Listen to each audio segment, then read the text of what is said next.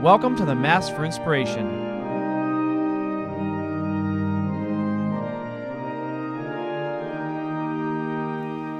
Welcome to the Mass for Inspiration. Our Mass today is the 20th Sunday of Ordinary Time. Turn your eyes, O God, our shield, and look on the face of your anointed one. One day within your courts is better than a thousand elsewhere.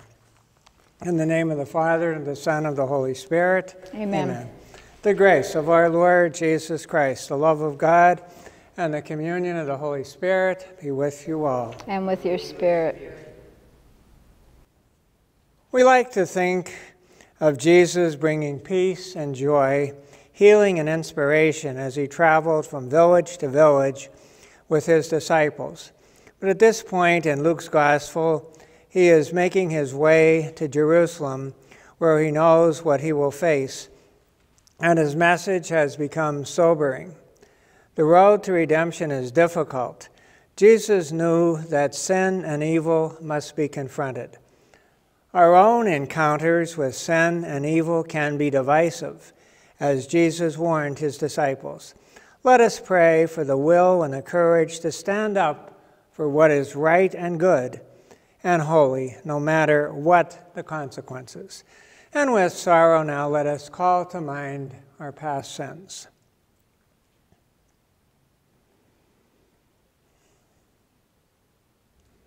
Lord Jesus, you gather people of every language into your everlasting compassion.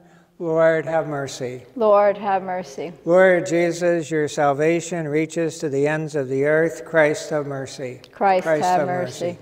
Lord Jesus, you are the way that leads to everlasting life. Lord, have mercy. Lord, have mercy. May Almighty God have mercy on us, forgive us our sins, and bring us to everlasting life. Amen. Glory to God in the highest, and on earth peace to people of good will.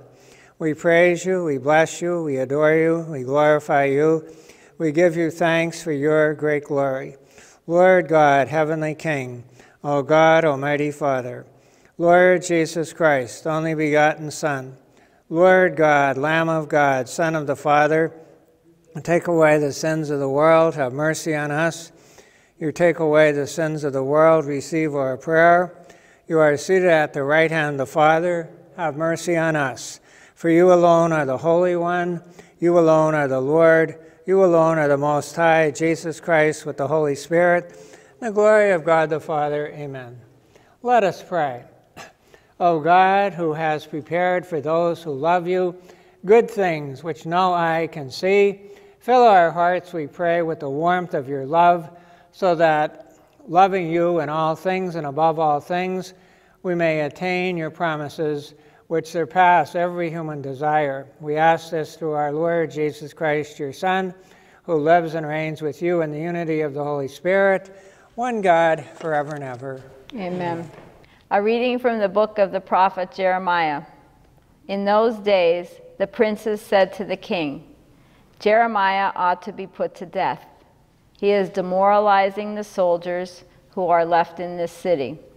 And all the people, by speaking such things to them, he is not interested in the welfare of our people, but in their ruin.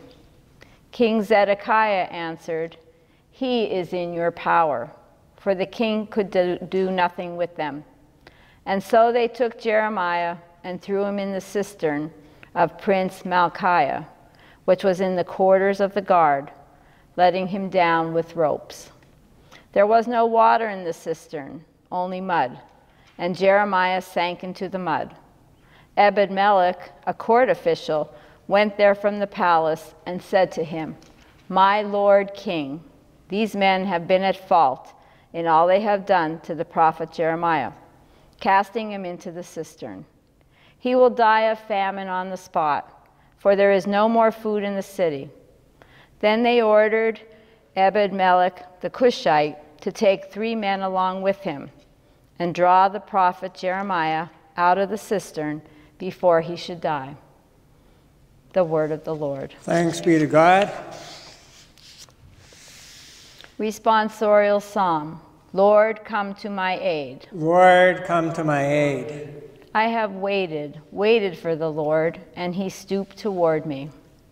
Lord, come to my aid. The Lord heard my cry. He drew me out of the pit of destruction, out of the mud of the swamp. He set my feet upon a crag. He made firm my steps. Lord, come to my aid. And he put a new song into my mouth, a hymn to our God. Many shall look on in awe and trust in the Lord. Lord, come to my aid. Though I am afflicted and poor, yet the Lord thinks of me. You are my help and my deliverer. O oh my God, hold not back. Lord, come to my aid. Second reading, a reading from the letter to the Hebrews. Brothers and sisters, since we are surrounded by so great a cloud of witnesses, let us rid ourselves of every burden and sin that clings to us and persevere in running the race that lies before us, while keeping our eyes fixed on Jesus, the leader and perfecter of faith.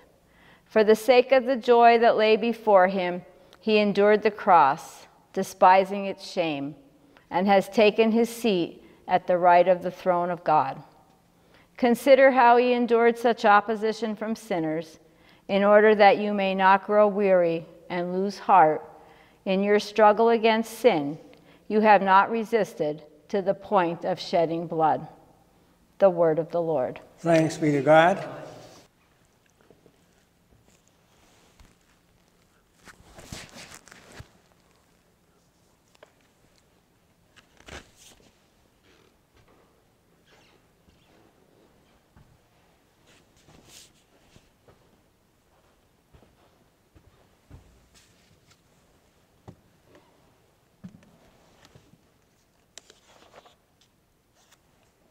Lord be with you. And with your spirit. A reading from the Holy Gospel according to Luke. Glory, Glory to you, O Lord. Lord.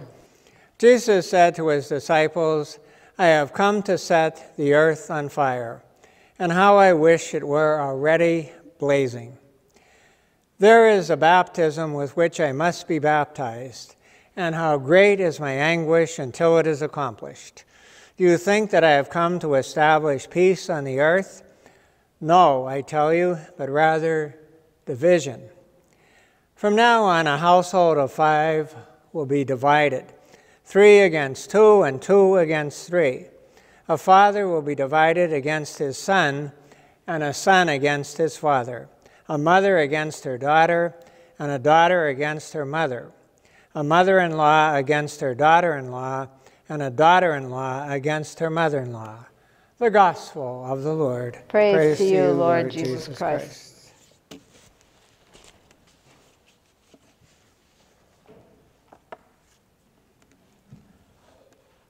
Friends, at times in the Gospels, Jesus is presented as the Prince of Peace in the New Testament, but at other times as one who has come to bring about division and upheaval.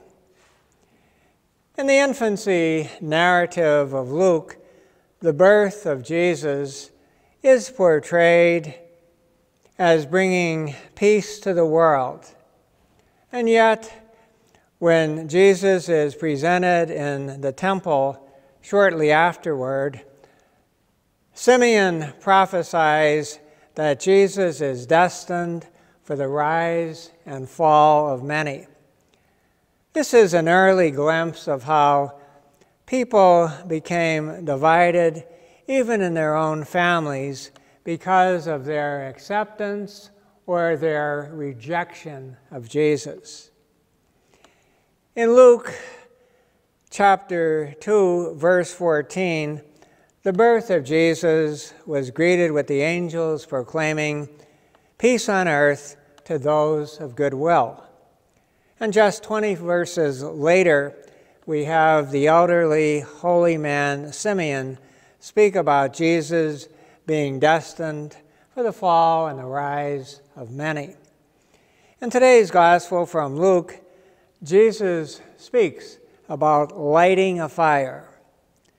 Often fire is referred to in the Old Testament And frequently, fire is associated with the presence of God. We know the story of Moses and the burning bush.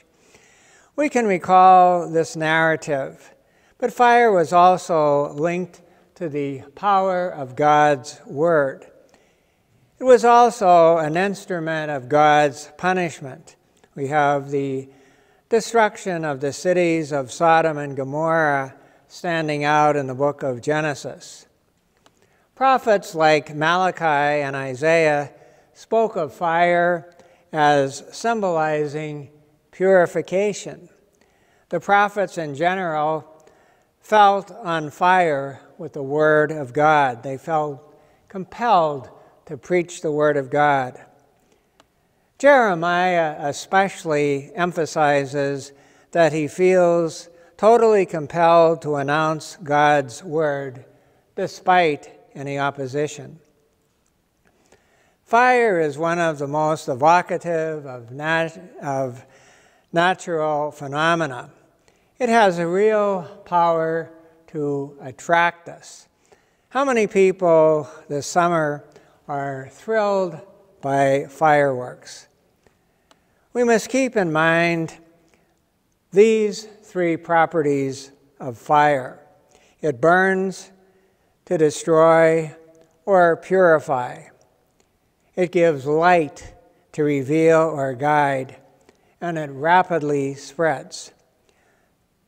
Through fire, God chastens and purifies. It is in fire that God reveals himself. Jesus came to light the fire of divine love in the world. You see statues of the Sacred Heart where uh, Fire emanates from the heart of Jesus. The Holy Spirit descended upon those people gathered in the upper room, and this included the apostles and Mary on Pentecost, and he descended in forms of tongues of fire. Fire was employed by God as a sign that he accepted the sacrificial offerings of people. Fire was used to purify both persons and things for the service of God. The authors of Deuteronomy and Isaiah even contend that God is fire. His love is a devouring fire, but his jealousy is also a fire which devours. The New Testament offers continuity with the way fire is utilized in the Old Testament. Jesus speaks of his coming to light a fire, which means he desires to evangelize people and commit them to himself. Jesus did bring about the vision in that people responded both positive, positively and negatively to him reactions to Jesus did bring about rifts in families. We had two against three and all this that we mentioned in the gospel. Some people and families accepted Jesus, other people rejected him and his word. And this is where the division comes about. The prophet Jeremiah's call to be a spokesman for God led to his rejection by both his family and his friends. The life of Jeremiah resembled that of the suffering servant described in the later prophet Isaiah. And Jeremiah's rejection resembled that of Jesus' own rejection. God raised Jeremiah from the fiery pit, and he raised Jesus from the dead.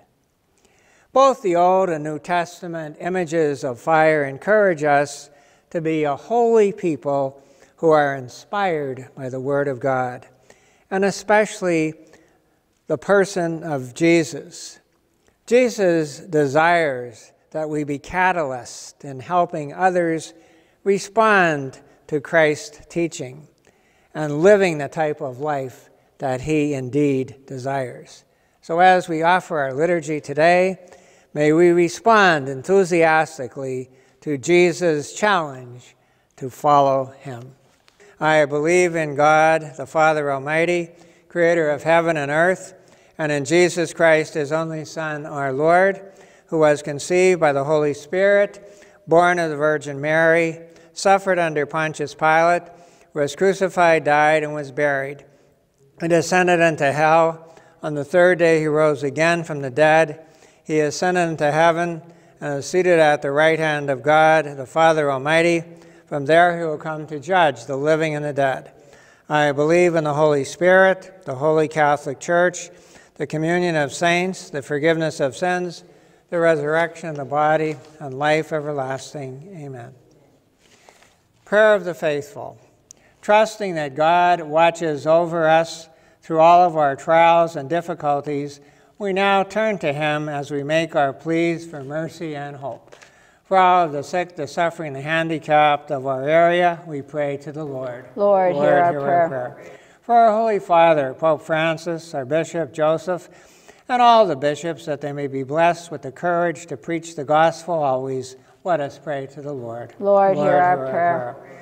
That nations may see divisions and disagreements as opportunities for honest and constructive dialogue for the benefit of all, let us pray to the Lord. Lord, Lord hear our prayer. prayer. That families who are divided may find comfort and peace in the embrace of an all merciful God as they cope with strained relationships and estranged family members. Let us pray to the Lord. Lord, Lord hear our, our prayer. prayer.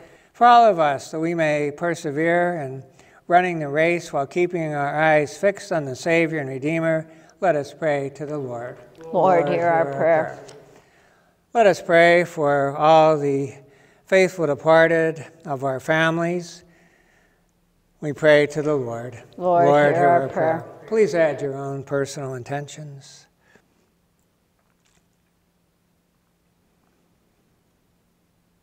God of all, watch over and protect us as we stumble and fall, leading us always onward to your kingdom. Hear the prayers we make today and grant them through your Son, who lives and reigns with you forever and ever. Amen. Amen.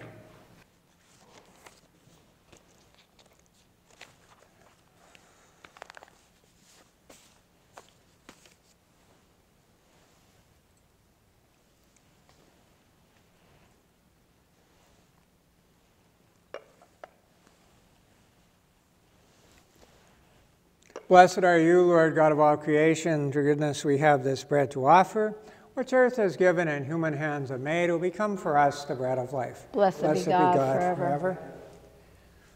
forever. By the mystery of this water and wine, may we come to share in the divinity of Christ, who humbled himself to share in our humanity. Blessed are you, Lord God of all creation. Through goodness, we have this wine to offer.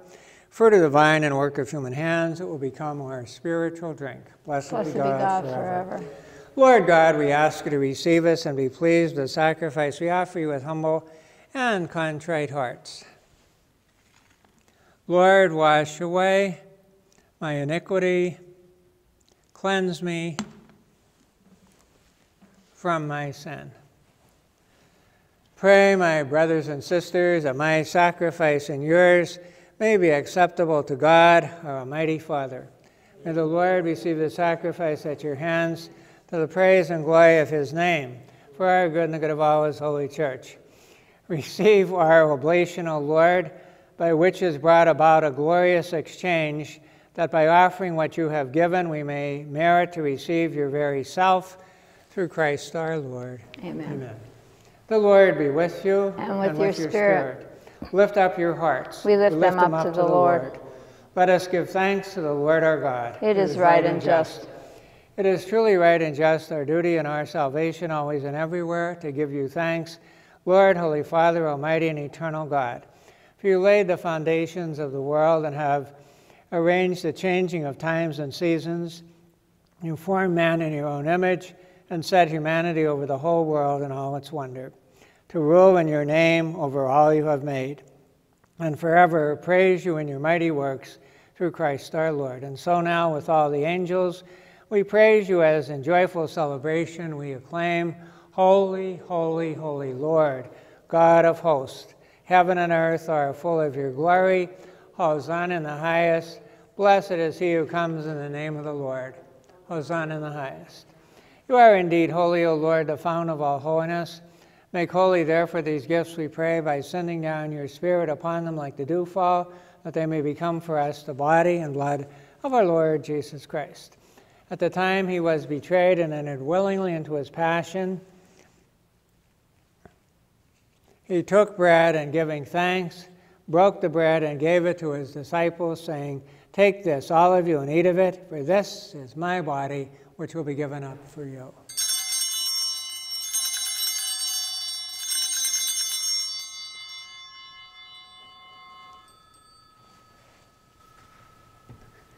In a similar way, when supper was ended, he took the chalice, and once more giving thanks, he gave it to his disciples, saying, Take this, all of you, and drink from it. For this is the chalice of my blood, the blood of the new and eternal covenant, which we poured out for you and for many for the forgiveness of sins. Do this in memory of me.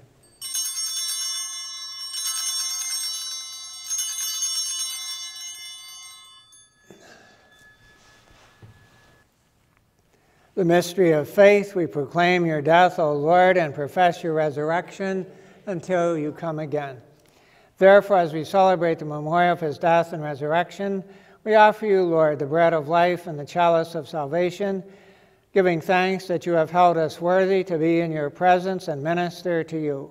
Humbly we pray that partaking of the body and blood of Christ, we may be gathered into one by the Holy Spirit. Remember, Lord, your church spread throughout the world and bring her to the fullness of charity, together with Francis, our Pope, and Joseph, our Bishop, and all the clergy. Remember the deceased of the McHugh and Farley families from the Masses offered. Remember also our brothers and sisters who have fallen asleep in the hope of the resurrection, and all who have died in your mercy. Welcome them to the light of your face.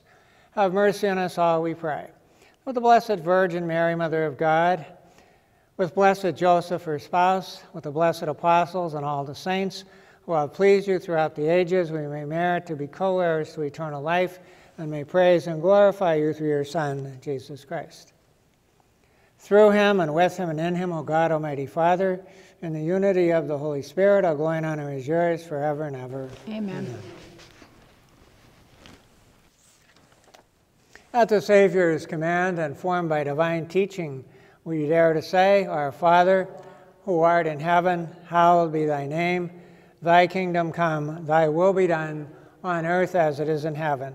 Give us this day our daily bread, and forgive us our trespasses, as we forgive those who trespass against us.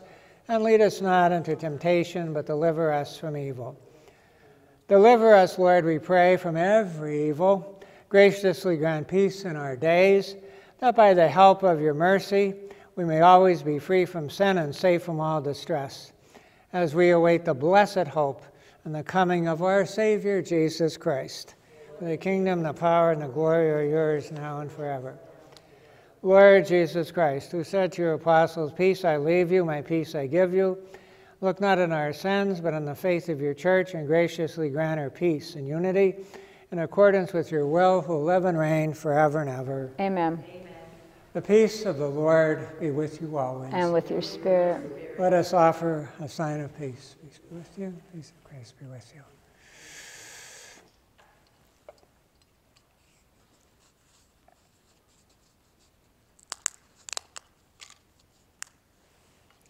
Lamb of God, you take away the sins of the world, have mercy on us. Lamb of God, you take away the sins of the world, have mercy on us. Lamb of God, you take away the sins of the world, grant us peace.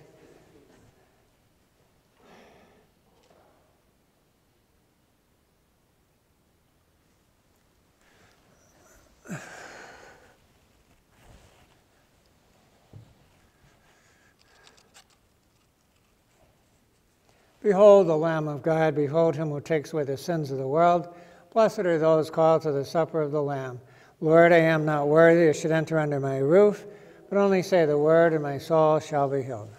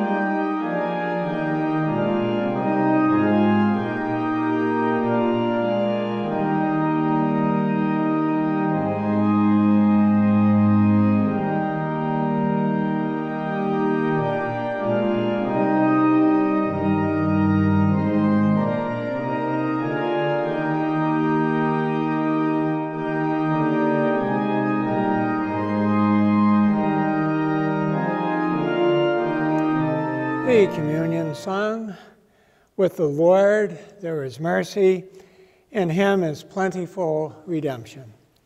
Let us pray.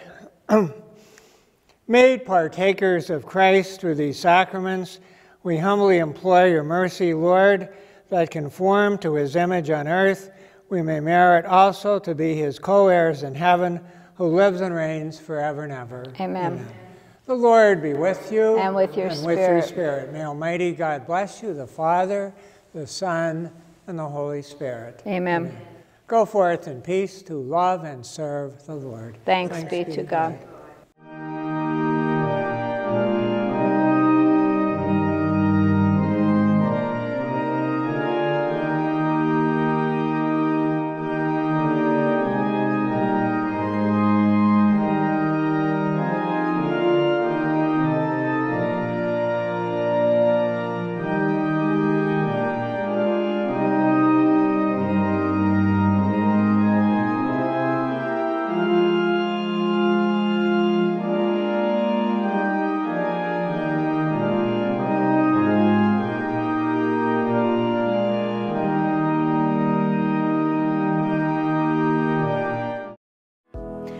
Recently engaged?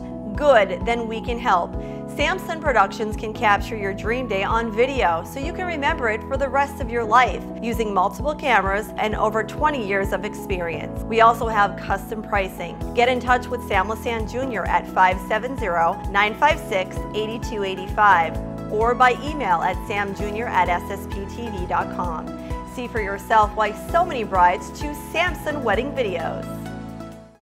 My name is Dr. James Deom, and I'm really proud to be here serving you at Hazleton and Stroudsburg Eye Specialists. A couple things that I focus on are specialty contact lenses, in particular scleral contact lenses. We've even gone on to form a specialty clinic called the Scleral Lens Institute here at Hazleton Eye Specialists. Whether it's you can't see clearly far away up close, your eyes are uncomfortable, give us a call. Hazleton Eye Specialist, Stroudsburg Eye Specialist, and we'd be happy to help you. Sam-Son Productions' new website, SSPTV.com, is the place to book your next professional video production. We have the right tools for the job commercials, talk shows, medical, political, weddings, live events, and much more. The Socializer One can help you with your social media marketing. You can also view any of our SSPTV original shows like SSPTV News, The Sam Lasan Show, The Girls, and Out of Left Field. Subscribe to our YouTube channel and connect with us on any of our social media outlets. SSPTV.com. Are you ready for your close up?